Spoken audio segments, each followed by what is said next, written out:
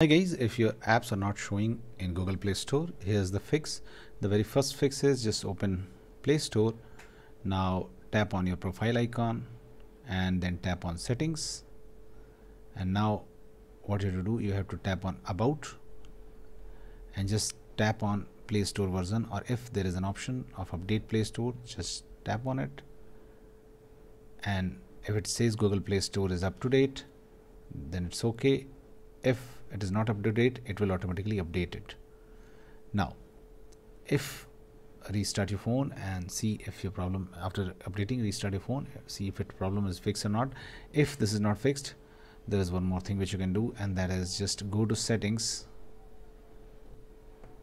of your android and now just tap on apps and notification or apps to go on the apps page.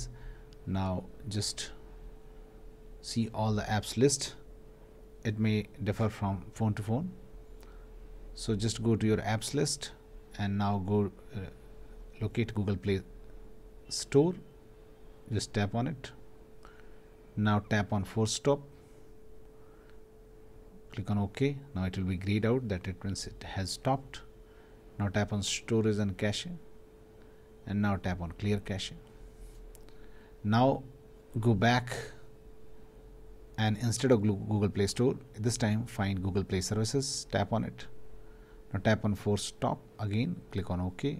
Now again tap on storage and cache tap on clear cache. And now restart your phone and your problem will be fixed